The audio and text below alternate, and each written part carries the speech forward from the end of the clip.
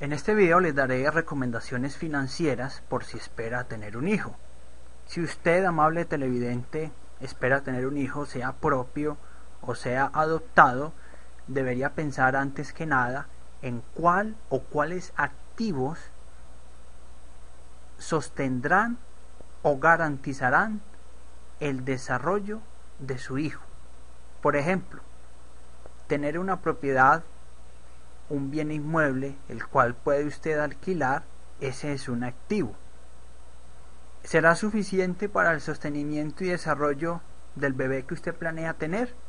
Sea propio o sea adoptado. No lo sé.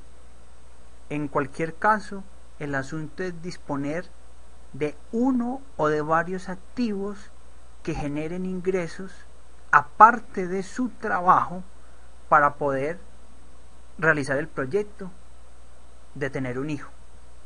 Algunas personas que les he consultado sobre este tema me dicen que en virtud de querer tener un hijo, van a trabajar más, van a dormir menos o van a jugar lotería. Pero debemos de recordar, tal cual como diría Juan Diego Gómez, que el salario es prestado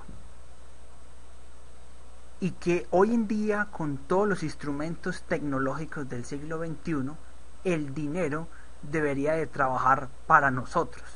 Es más, si trabajar tan duro diera tanto dinero, entonces las, las personas que cargan piedras y objetos pesados en construcción serían multimillonarios y no tendría que hacer un video como este. En conclusión, si usted desea tener un hijo propio o adoptado, piense en cuál o cuáles activos sostendrán a ese hijo que usted espera tener. Además, recuerde que la lotería es un impuesto a la estupidez.